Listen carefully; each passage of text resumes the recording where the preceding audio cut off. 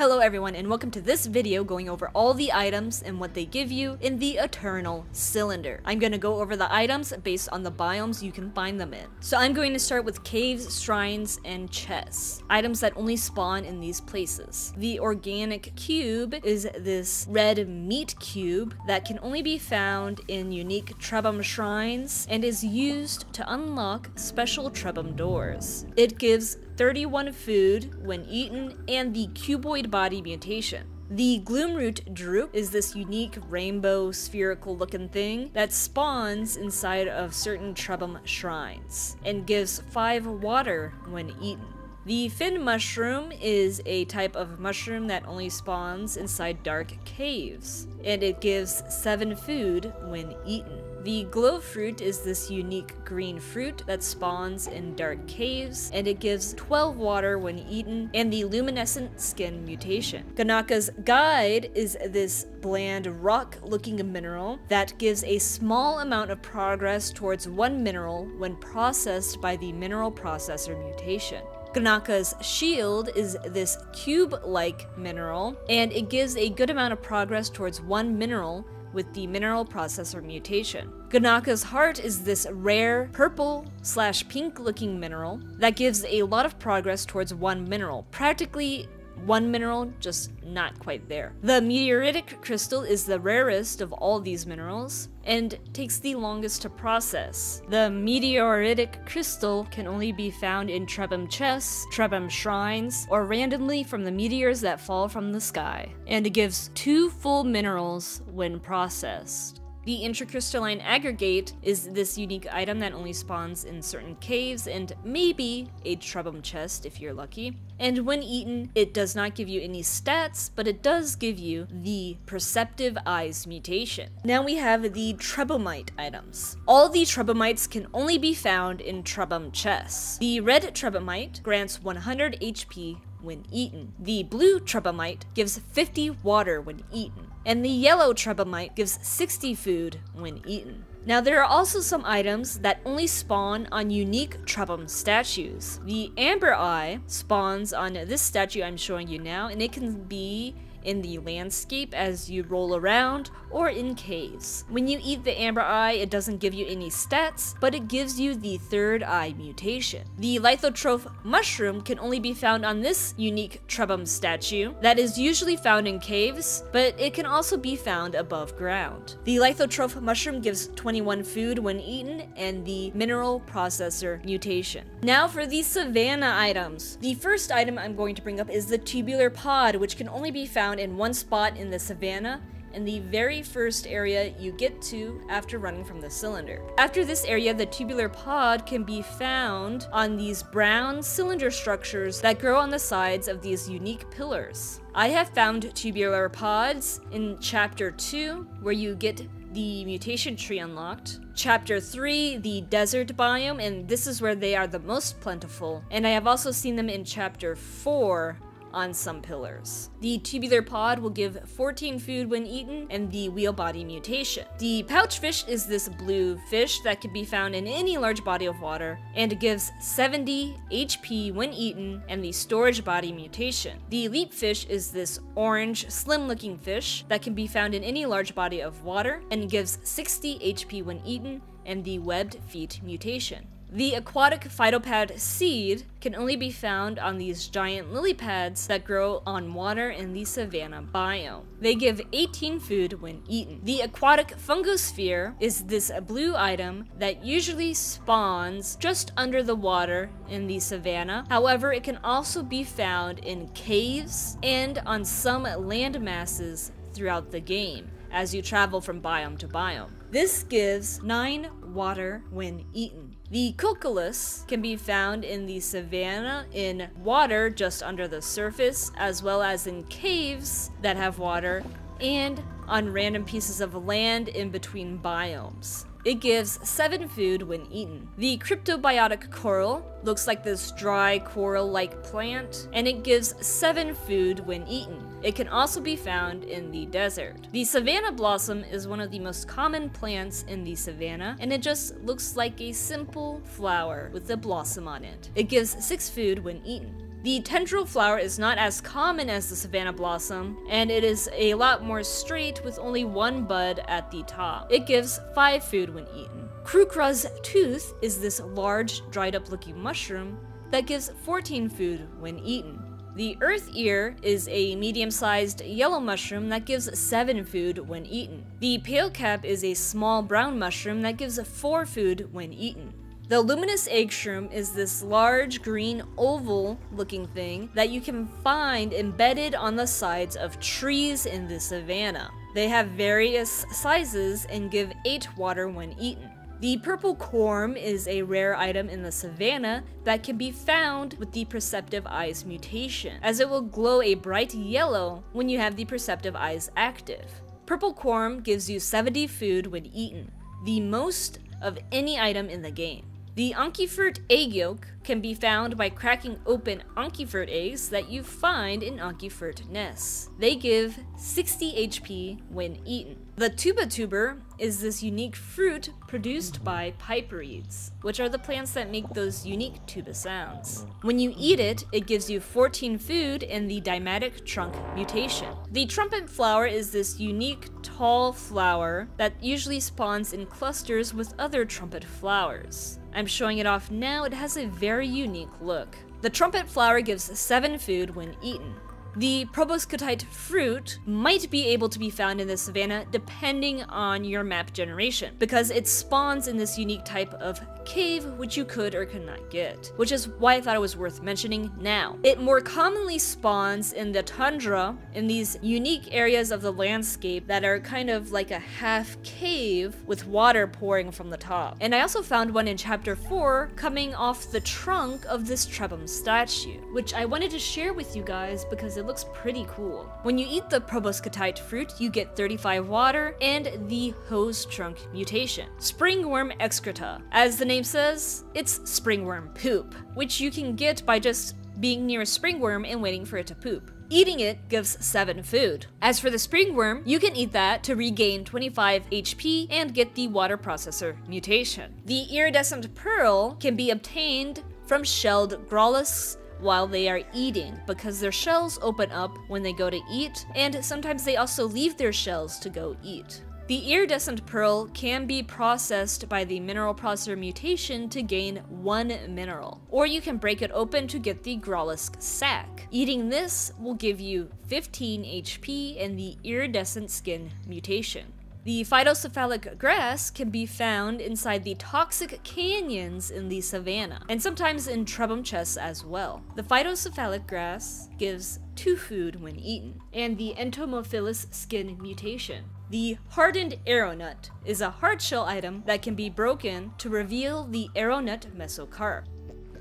This gives one food when eaten and the inflatable body mutation. The Piper plant is this unique pink plant that kind of looks like an instrument and it only can be found in these unique V-shaped caves in the savannah. These caves are not always open, sometimes they are closed up by a bunch of rocks. However, if you have a Tongogrop nearby, you can lure it towards the cave and get it to break all the rocks, and then you can go inside and grab the Piper plant. Here's what it looks like closed, and here is what it looks like open. The Piper plant will give you 24 food when eaten, and the Hypnotic Trunk mutation. The Yametsuk is this unique eggplant looking item that spawns in these green leaves that hold it, and it gives 18 food when eaten. The Krem Krem is an onion looking plant that usually spawns near the Yametsuks and gives 10 food when eaten.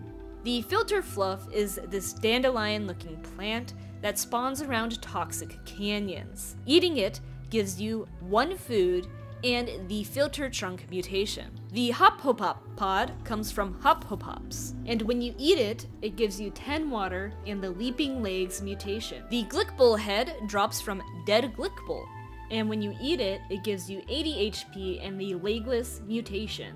The Omnigram pellet drops from dead Omnigram and gives you 80 HP when eaten, as well as the Irascible Trunk mutation. The Tongogrop acid pump drops from dead Tongogrop in the savanna, desert, and corrupted plains. It gives you 100 HP when eaten and the toxic trunk mutation. Now for the tundra. The aerophytic furball is this purple fuzzy looking plant that spawns near these giant coral structures in the tundra and gives 8 food and the furred skin mutation when eaten. The optic crystal is this unique item that is produced by the Unifier. There is one Unifier event in chapter 2, 3, and 4. And right before the Hand of Fate boss battle, you can find a bunch of optic crystals in a Trebhum house. Optic crystals will give you one mineral and a lot of progress towards a second when processed with the mineral processor mutation. The ocular orthopod is this weird insect with a huge eye that can be found in the tundra and corrupted plains biomes. When eaten, it gives you 20 HP and the analytical eyes mutation. The tundral pod is this plant that grows quite commonly in the tundra, and they have a lot of pods coming out of one base. It gives 8 food when eaten. The flat mushroom is this flat red mushroom that grows out of the ground in small clusters throughout the tundra and gives 4 food when eaten. The frost fungus is this small blue mushroom with blue dots that spawns in some of the canyon areas of the tundra, but it can also spawn just randomly on the land as well. It gives 7 food when eaten. Ice tubers are a hard to see plant because only their green stems stick up through the snow. But when you pick them up, you will see they have a potato-like base. They give 19 food when eaten. The Kali Grugru is this unique plant that has one large fruit growing out of it, and it spawns in small clusters throughout the tundra. It gives 10 food when eaten. Clackak's gift is this blue rose looking flower that spawns off of these green plants that can be found in the canyons of the tundra. It gives 3 food when eaten. The Karkazoop is this blue watermelon looking plant that spawns outside of Trebhum shrines in the tundra. It gives 35 water when eaten. The pyrophile fruit is this orange fruit with purple lines around it that spawns near the heated rocks in the tundra, as well as in these hotspots that look like cooling molten lava in the desert. Eating it gives 30 HP and the pyrogenic trunk mutation. The floating crystal is this crystal looking thing that spawns on top of the dendrospiral plants, which are the largest plants in the tundra. To get up here, you need a Vushlopp to abduct you, and you can process floating crystals with the mineral processor body. It will give you two minerals and decent progress towards a third. If you break open the floating crystal, there will be a dendrospiral seed inside. Eating this gives you 15 food and the extendable eyes mutation. The tundral hesperidium is this green looking plant that spawns on top of frozen water in the tundra. It gives 7 water when eaten. The cryopolyp is this unique looking thing that also spawns on top of frozen water in the tundra. Eating this gives you 35 water and the extractive trunk mutation. The umbral lithopyth is this fossilized looking plant that spawns in these half cave structures in the tundra where you can also find the proboscidite fruit. They give 8 food when eaten. The Tongu Groplet organ comes from dead blue Tongu Groplets in the tundra. Eating it gives you 75 HP and the mixer body mutation. This only drops off blue Tongu Groplets. I've killed green ones, past the tundra, and they still didn't drop anything. The sucker lobe grows off this unique plant that only grows in Trebhum shrines, as well as at the end of chapter 2 you can find some of the plants that have sucker lobes next to this Trebhum house. It gives 4 food when eaten, and the sucker feet mutation. The Bazubu is this green looking fish that kind of has an electric pattern on it, and it can be found in any large body of water in the tundra and beyond. It gives 40 HP when eaten, and the electrogenic skin mutation. The triple bosch antenna is gained from dead triple bosch, and also from dead onogrosh in the desert. Eating it gives 40 HP, and the impaired eyes mutation. The frozen skla heart comes from dead frozen skla but it can also be found in some hidden spots throughout the game. You can find one at the end of chapter 2 in this area right of the giant crystal structure where there's a Trebhum house. You will notice that there's this small half cave area with a Trebhum nest inside and it has a Sklaw heart there. But I also found in chapter 4 you can find a frozen Sklaw heart inside a Trebhum chest in the first Trebhum shrine with the Glickbull puzzle, but you can also find a frozen Skla heart in the Trebhum shrine with the last Elder. If you go to the back of this area where the statue is of the Trebhum shooting water, there is a hidden frozen Skla heart here. Eating the frozen Skla heart gives 100 HP and the regenerative body mutation. The tetrahedron is this unique pink pyramid thing that can only be attained from the last unifier in chapter 2. This item can be processed by the mineral processor mutation to get two full minerals. The tetrahedron can also be found in chapter 4 on unique platforms where liberators can spawn. If you break open the tetrahedron, there will be tetrahedron flesh inside. Eating it doesn't give you any stats, but it does give you the crystalline skin mutation. Next is the desert. The finned jumpfish is this unique fish that jumps out of the water and can be found in any large body of water once you hit the desert and beyond. It also glows if you activate the Perceptive Eyes mutation. It gives 60 HP and the amphibious body mutation when eaten. The tetracrab is this small four-legged crab that you can find wandering in the desert and beyond. It grants 30 HP and the quadruped legs mutation when eaten. Barbagar's foot is this unique red-looking thing that can be found on these plants that grow on rocks in the desert. It also can be found in one Trebhum nest in Chapter 1, on top of this large structure after you get the inflatable body mutation. Eating it grants 7 food and the meteor feet mutation.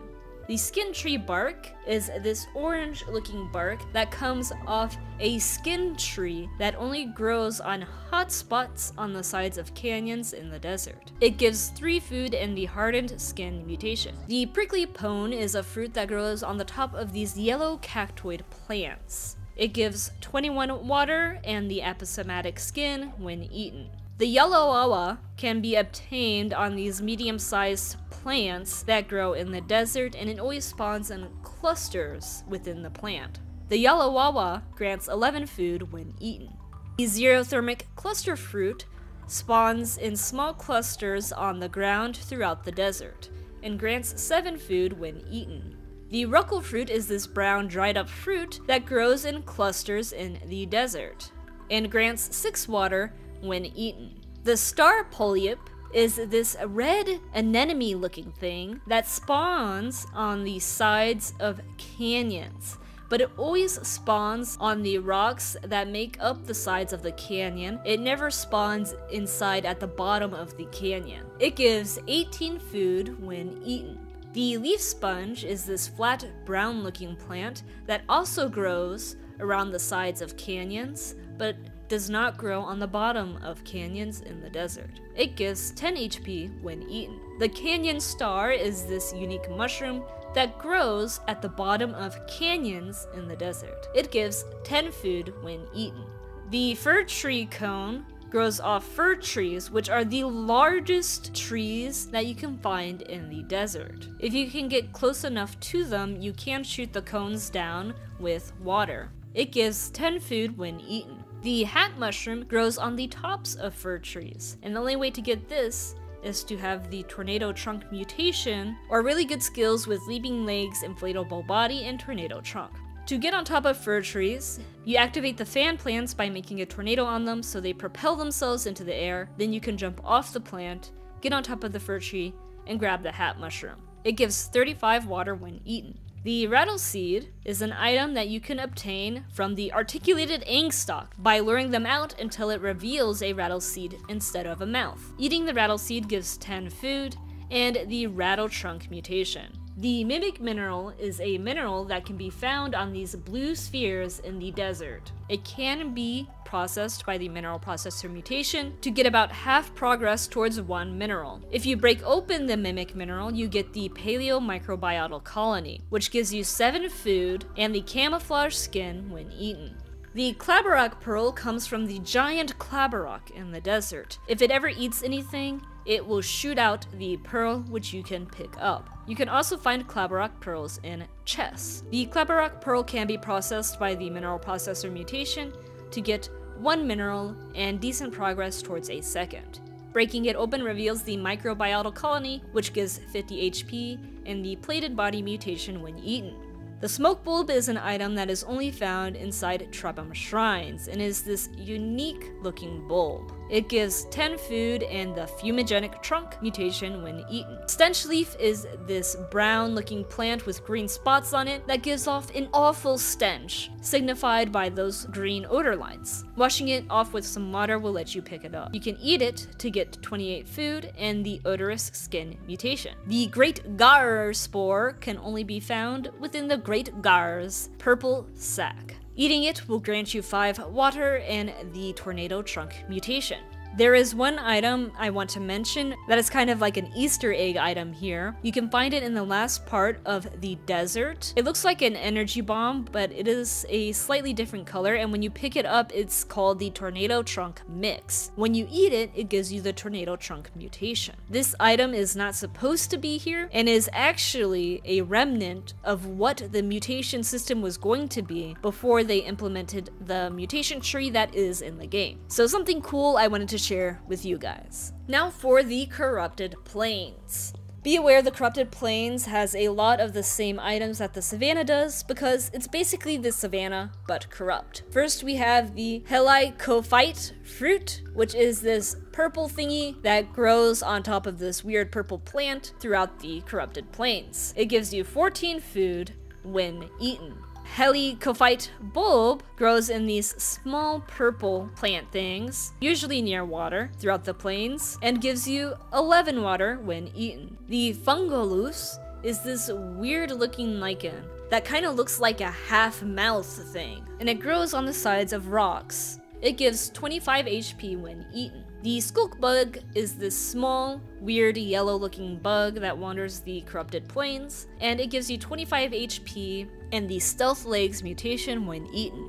The explosive fruit is this unique looking yellow fruit that can be found on broken pillars throughout the desert as well as on rocks. Eating it gives you 25 HP and the unstable body mutation. The tongue bag is obtained from dead Rundislox and gives you 30 HP and the tongued trunk mutation when eaten. The carved gem is this purple gem that looks like an eye, and it is found in one of the last Trebhum shrines in chapter 4. The carved gem can be processed by the mineral processor mutation to get two minerals. Breaking it open will give you the control nodule, which gives nothing when eaten except for the iconic vision mutation. The squataboo is a creature that is only found in the poisonous green water in the corrupted plains. It grants 60 HP when eaten. The Trewalla heart is found inside the bodies of Garashtub, and it gives 100 HP and the Master of Song mutation when eaten. The Trewalla Statue 3 is a quest item the Trebhum have to obtain to progress in the story. This item can be processed by the Mineral Processor mutation and gives 2 minerals. It is a hard shell item that can be broken open for the Trewalla core number 3. Eating this only gives the Trebhum the Trewalla feet mutation. The Trewalla statue number 4 is the next statue you obtain in your quest. This item can be processed by the mineral processor mutation and gives 2 minerals. It is a hard shell item that can be broken open to get the Trewalla core number 4. Eating this only grants Trebhum the Trewalla trunk mutation. And the final statue is Trewalla statue number 1. This is the final relic the Trebhum have to collect. This item can be processed by the mineral processor mutation and gives two minerals. And breaking it open reveals the Trewalla core number one.